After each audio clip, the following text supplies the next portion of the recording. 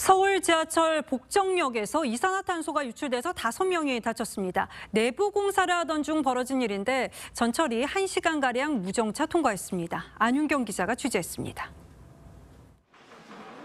지하철 역사에 소방 통제선이 설치됐습니다. 승객은 출입이 막혔고 경찰과 소방관, 서울교통공사 관계자가 상황 수습에 나섰습니다.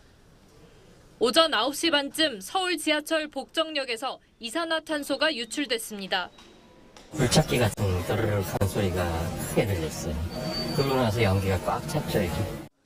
전기실 내부에서 차수벽 설치 공사를 하던 중 가스 설비 배선이 파손돼 소화용 이산화탄소가 분출된 겁니다. 이 변전소는 불이 났을 때 빠르게 진화하기 위해 옆방의 이산화탄소 저장실과 내부 배관으로 연결돼 있습니다. 이 사고로 역산의 엘리베이터 공사를 하던 작업자 5명이 어지러움 등을 호소해 병원으로 옮겨졌습니다.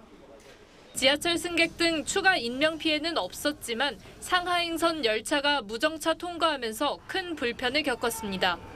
마냥 기다릴 수는 없어가지고 도착하는 지하철이 하나 있길래 그냥 그거 타고 함정거장 지나와서 출근을 다 했거든요. 소방당국은 인력 80여 명과 장비 24대를 동원해 역산의 이산화탄소 희석 작업을 벌였고 지하철 운행은 1시간여 만에 재개됐습니다. TV조선 안윤경입니다.